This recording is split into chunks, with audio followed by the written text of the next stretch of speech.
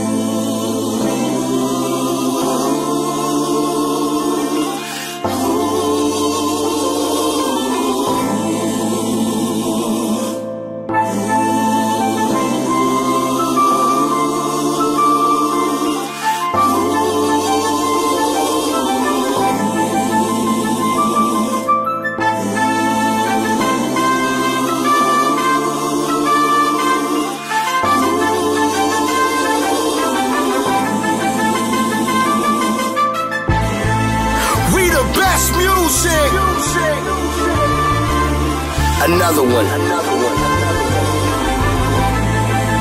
DJ Khaled. And I know that somebody been praying for me. Head above ground and I could have been six feet deep. Out on these streets, wanna get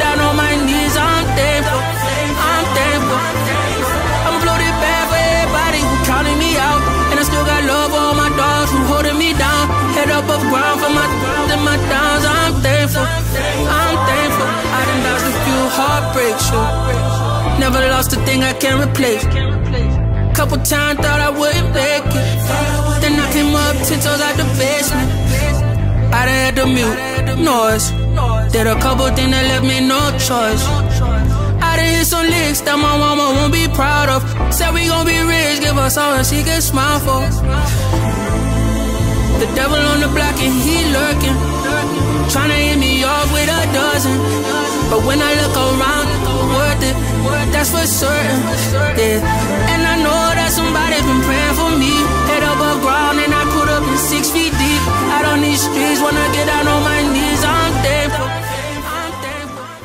Well, you could say you've got one less item on the menu to worry about. If you were in Prichard today, hundreds of turkeys passed out during the Mark Barron annual turkey giveaway. With turkeys hard to come by or even more expensive than in years past, the families there today say this giveaway couldn't have come at a better time.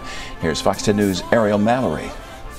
As long as I'm in a position to be able to come back and help these people out, I always do it. Cars lined up outside Prichard City Hall today as 750 turkeys were passed out to receive a little help this holiday season. A lot of people don't have food, especially for the month of November. We already get food stamps, but we don't have enough to be able to do holiday uh, festivals and things like that. Single mother Janelle Hill was one of the cars in line today receiving her turkey. Now she says she's able to do more for her son. I figured why not, you know, I can use the food stamps for other things and for the month of November.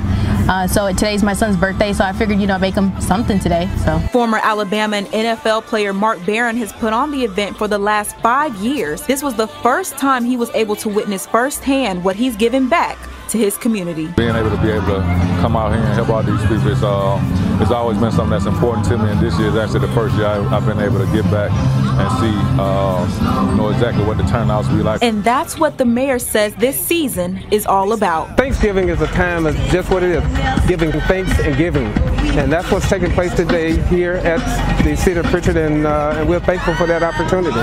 In Prichard, Ariel Mallory, Fox 10 News. Yeah, be now, be ancient. Yeah, it been my turn. Let me cut off these blankets. I cut off these strangers. Your ifs, ands, and buts of the strangers. I never relinquish. I'm thanking Franklin as an acquaintance. Destiny danger. I done seen from every